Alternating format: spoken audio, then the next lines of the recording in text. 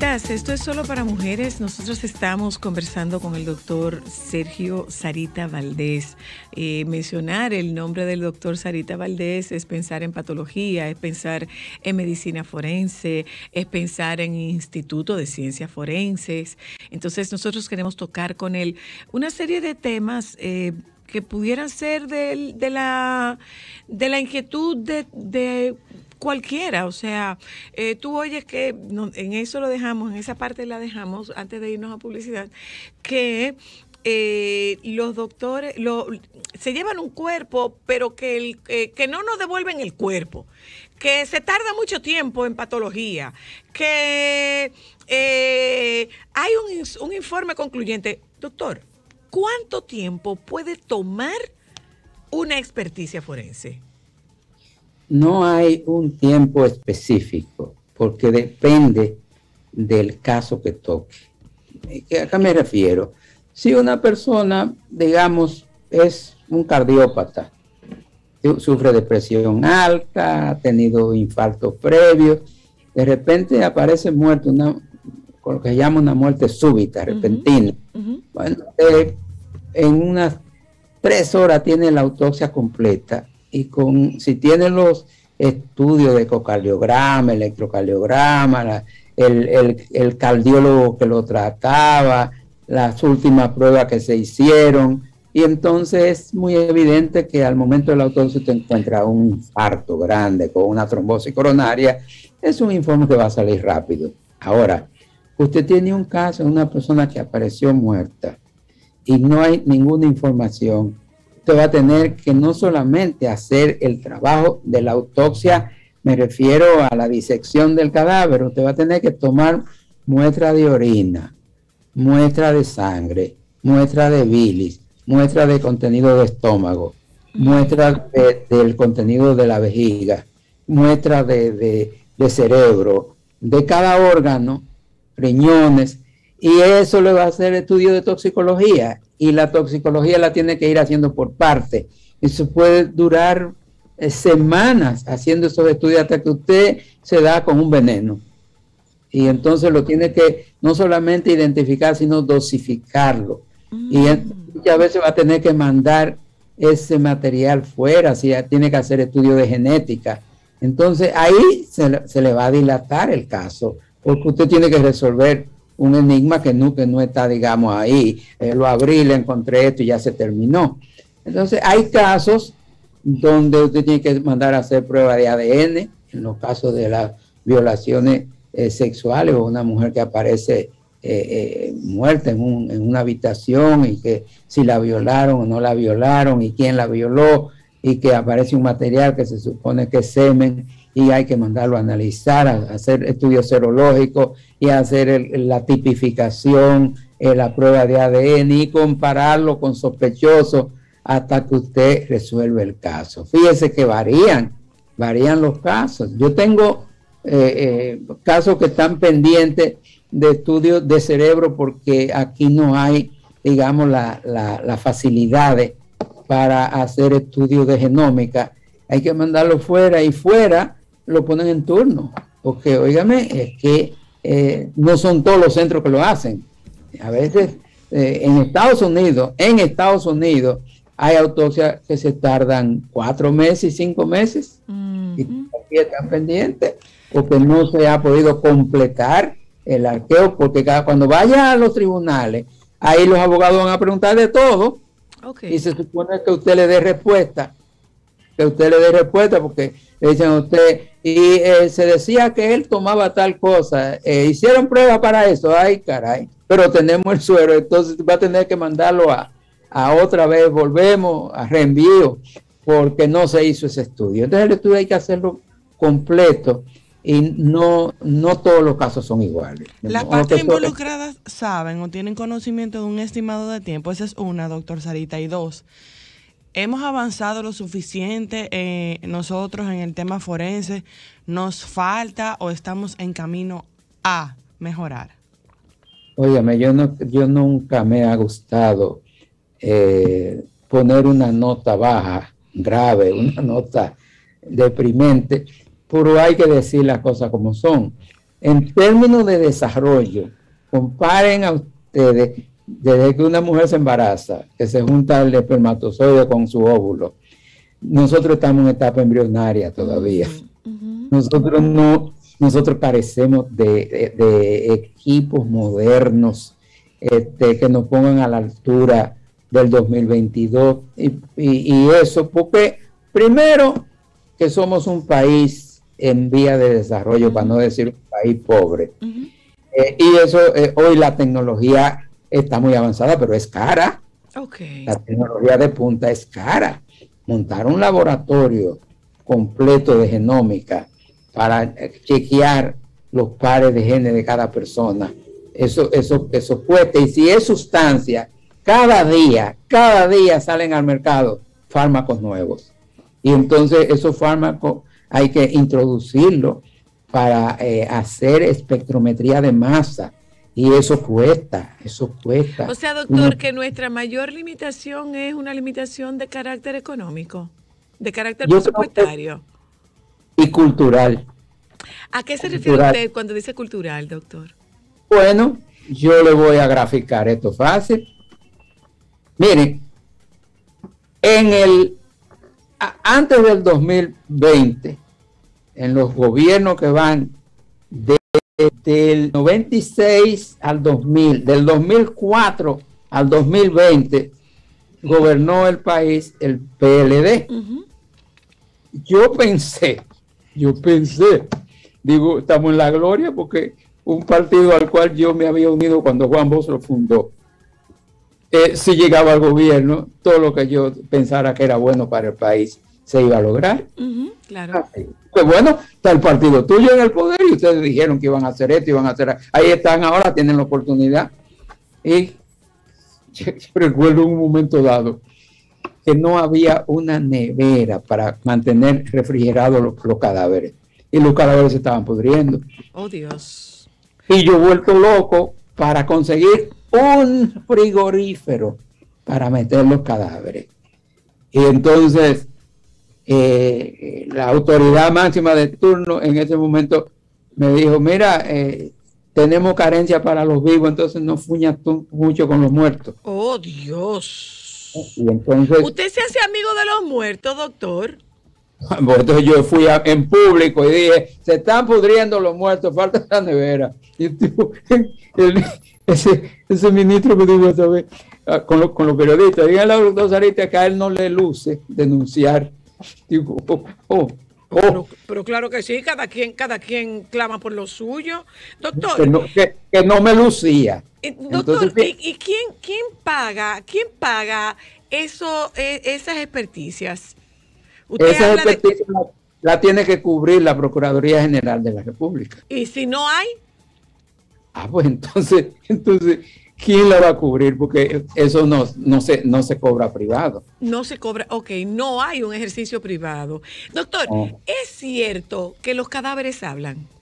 Seguro que sí.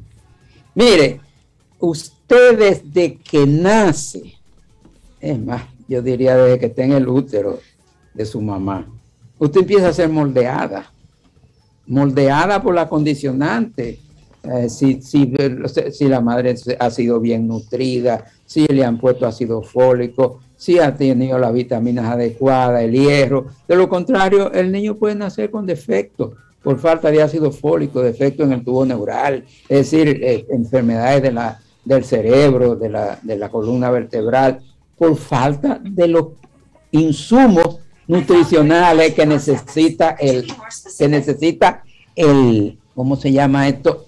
El bebé que se está desarrollando. Entonces, cuando, cuando ya nace, ahí empieza a marcar eh, sus condiciones de vida, dónde es que vive, cómo vive, cómo lo alimentan y, qué, y qué tipo de cultura tiene la mamá y el papá, porque ellos son determinantes ahí, y la misma sociedad. Entonces tú vas teniendo huellas, marca.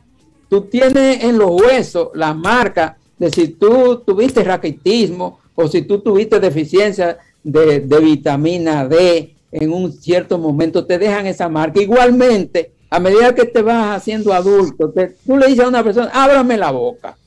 Y en eso, yo le voy a decir a ustedes, en eso Juan Bosch era un experto. Él, la persona se sonreía. Yo recuerdo una anécdota, que una persona que estaba de visita allá a su oficina, que era este, donde él tenía un apartamento, que vivió muchos años. Este, y llegó una persona de visita y nosotros estábamos ahí y se sonrió la persona. Después que se fue, Juan Bosch dijo, miren, esa persona ha tenido época de, muy, muy pobre, muy, de muchas eh, carencias y necesidades.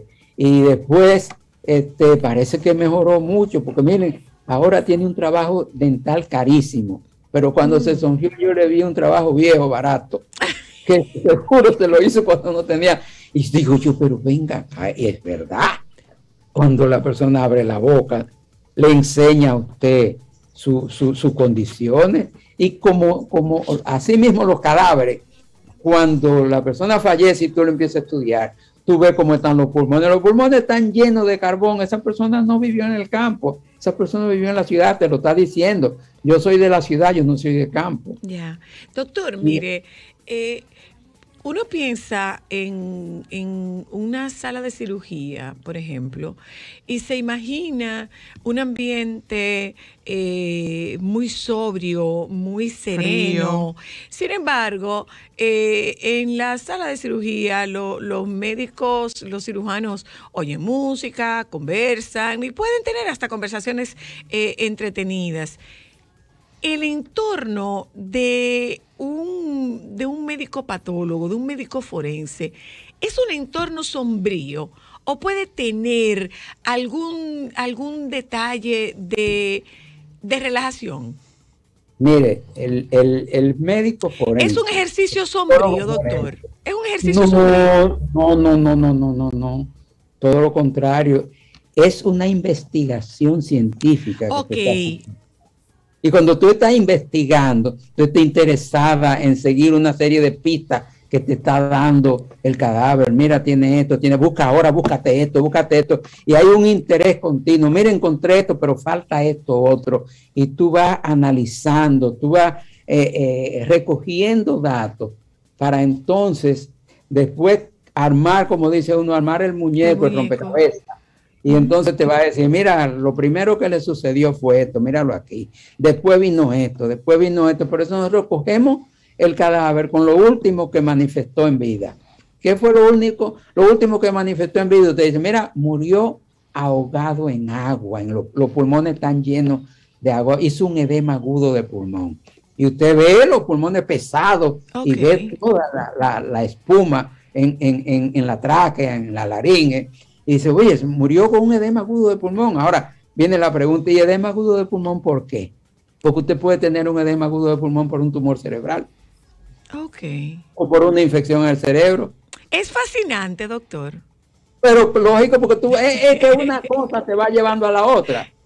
¿Cuál ha sido, doctor, cuál ha sido en su ejercicio una de las, eh, o una o varias de las, de las experticias que usted ha tenido que hacer, que más le ha, o sea, que en un momento determinado tiene que dejar de lado su sensibilidad humana para convertirse en el investigador, eh, en el investigador objetivo? Mira, eh, si nosotros pensamos en términos de, de experticias que se han hecho que han impactado de verdad, no tanto a uno, sino a la sociedad. A la sociedad. Si tú tienes el caso, por ejemplo, de, Héctor Méndez. Héctor Méndez, un, banquero, en los tiempos del gobierno de Salvador Jorge Blanco, se hizo tan fuerte que él era que condicionaba la prima del dólar. La prima del dólar. Así era la cosa. Y entonces, de repente se desaparece y aparece ya el cadáver.